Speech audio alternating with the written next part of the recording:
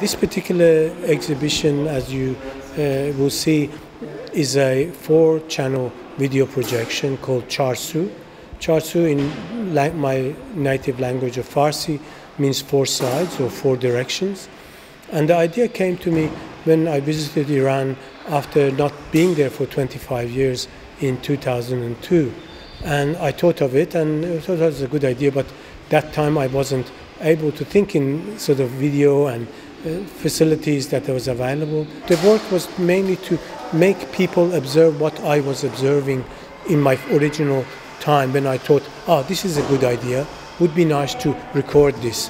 You know, of course, you always have one direction, but in this particular sense, you have four directions. Of course, you realize you can't see all of them at once. You can maybe glance and you hear a motorbike passing or so on, but it's like life. We never cover everything.